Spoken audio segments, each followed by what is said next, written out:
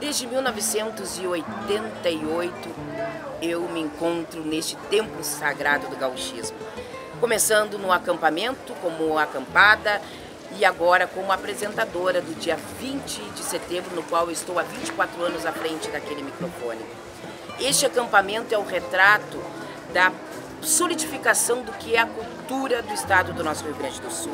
Nesses 35 anos de trajetória de estrada, já levei a declamação aos quatro cantos deste Brasil e lutei ao longo de quatro anos dentro do Poder Legislativo para o Dia do Declamador, dia 15 de dezembro, em homenagem ao nascimento de Darcy Fagundes, um dos maiores expoentes do verso, da interpretação desde o rodeio coringa. A poesia gaúcha terrunha, campeira, começa lá nos galpões, em volta de um fogo de chão, aonde não haviam toda esta preparação declamatória para concursos. A declamação é a forma mais simples no seu retratar.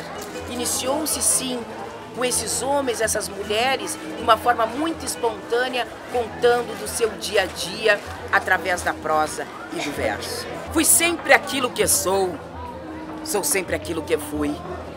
Porque a história não dilui o que a Mãe Terra gerou. Sou brasedo que ficou e acesa permaneceu.